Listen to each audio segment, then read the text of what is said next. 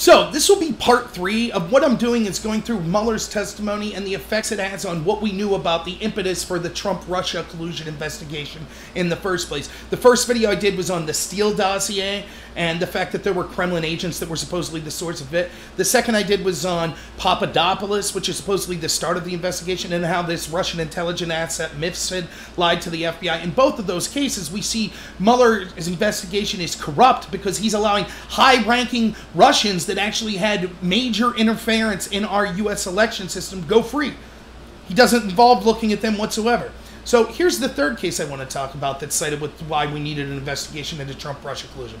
That's the case of the infamous meeting at Trump Tower with Don Jr. and a Russian lawyer named Veselnitskaya. The brief rundown of the case is this uh, Trump gets connected with this Russian lawyer through another Russian, and they're saying, Hey, the Russian government wants to help your father. We have dirt in Hillary Clinton. Don Jr. says, That sounds great. Sets up the meeting, goes to the meeting. There's no dirt. He leaves after 15 minutes. Now, this has been touted as proof of collusion. It's not. Mueller did a two year investigation and decided that he wasn't going to charge anyone, which was well within his ability to do so if he wanted. So it proves that there wasn't any crime committed here. But even if you do think that there was a crime committed here because you're not allowed to get dirt from Russians, well, that's exactly what Hillary and the DNC did, so they would all be guilty as well. And in addition, they went to the Ukraine to get dirt. In the case of Russians, though, they just paid an intermediary to hire a former British spy to get dirt from Kremlin officials and then use that dirt strategically. They actually got the dirt. Don Jr. never did get the dirt. And yes, I know people try to make the ridiculous argument that somehow paying an intermediary makes it acceptable. It doesn't. If you look at the legal statute, it says that you're not allowed to get a thing of value from any foreign citizen, even through an intermediary. So they would be guilty as well of this. But neither of them are guilty, as I've argued all along. It's shady, but people get dirt all the time. Now, if you offer a quid pro quo or something like that, then that would be illegal. But that didn't happen. Anyways, what this has to do with Mueller's testimony is as follows Mueller was specifically asked why he included 14 pages about this Trump Tower meeting with this shady Russian lawyer, Veselnitskaya, but he neglected to mention the fact that the person who runs the firm that Hillary and the DNC personally hired to get the opposition research on Trump. This firm was called Fusion GPS, and the man who ran its name was Glenn Simpson.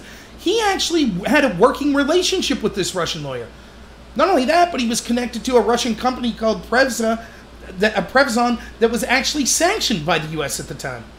But he met with this Russian lawyer. Glenn Simpson personally had dinner with her the day before and the day after the meeting that she had with Don Jr. in Trump Tower.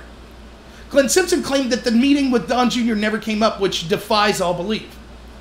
But when asked specifically, Mueller, why didn't you mention that people connected to Hillary, basically a DNC operative, also met with this same Russian? Why didn't you include that in your report? He says it's out of his purview.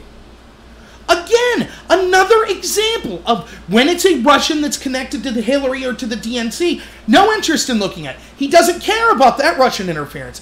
He doesn't care that this Russian lawyer that he claims is supposedly shady, and it was shady for Don Jr. to meet with her, doesn't care that she's also meeting with the people that Hillary Clinton are paying.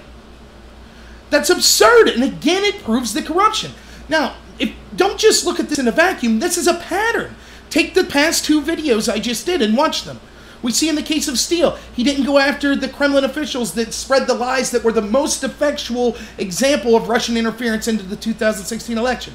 With the example of Papadopoulos, he charges Papadopoulos, even though Papadopoulos didn't do anything to harm the United States, he just lied to the FBI. But the actual Russian source that was behind Papadopoulos also lied to the FBI, and Mueller didn't charge him. Coincidentally, that person has connections to Western intelligence and to Hillary Clinton. And now we see another example. Even though Veselnitskaya wasn't charged or Don Jr. wasn't charged with meeting with her, the implication that's giving in Volume 1 is that it was very shady for Trump to meet with this lawyer. But he totally neglects the fact to admit the exculpatory evidence that she was also meeting the day before and after with people that Hillary was paying to come up with the strategy to defeat Donald Trump. Over and over, this is the case. Just like with who's decided to be charged in other instances. Remember, Manafort works with Manafort's Trump's campaign manager works with the Podesta Group, who was the founding company of Hillary's campaign manager in 2013, to lobby illegally without filing as a foreign lobbyist. Manafort gets put in solitary confinement. The people connected to Hillary get to retroactively file paperwork. Over and over and over, we see this as the case.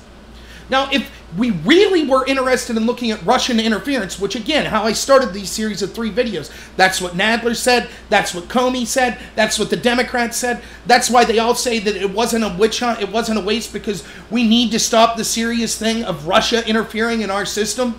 Then why are these connections to the DNC and Hillary with Russians and the Russians they had connections with eh, totally ignored? Not discussed at all in the Mueller report. Just coincidence, I suppose. So when people say the first video I did today was about how it's clear that Mueller had no clue what was in his report, and that actually the people writing it were the Democratic Hillary supporters that were on his team, like Weissmann, Zebley, and others. Some of which personally worked with as lawyers for the Clinton Foundation. Weissmann, who would be in charge, actually attended the election night party with Hillary Clinton. Why is that bias important? Because we see it actually had effect. They're not looking at any Russian interference if it means it's connected to Hillary or the DNC in any way. That proves that the investigation was corrupt and a sham. It was never about stopping Russian interference. It wasn't about giving an objective look at the evidence of how Russians had connections to all sorts of people in the United States. It was merely an attempt to smear Donald Trump and take him down and help impede his presidency. That's it. So I'll be putting out more videos. I hope you like this one. Uh, if you do, please like and subscribe. Recommend me to some other people. You can follow me on BitChute as well. I would really appreciate that. Robert at BitChute. And uh, look forward for more material coming out in the near future. So thanks a lot, everyone, and have a good one.